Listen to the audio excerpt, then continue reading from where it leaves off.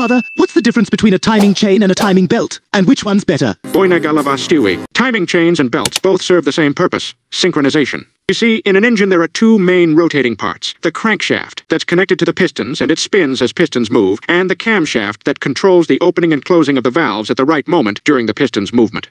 Both the crankshaft and camshaft are always synchronized by either a timing chain or a timing belt. If your timing is off, your engine will lose power, efficiency, and in the worst case scenario, you'll destroy your engine. So a timing chain is literally a chain made of metal links, and it's all lubricated by the engine oil. It's typically considered more strong and durable, but it's also influenced by many regular oil changes and oil quality. Timing chains are a little bit more expensive to produce and replace, and they can stretch over time and mess with the timing, but they're less likely to snap suddenly, like belts. A timing belt, instead, is made of reinforced rubber, and it's positioned away from the engine oil. It's cheaper to produce and less expensive to replace.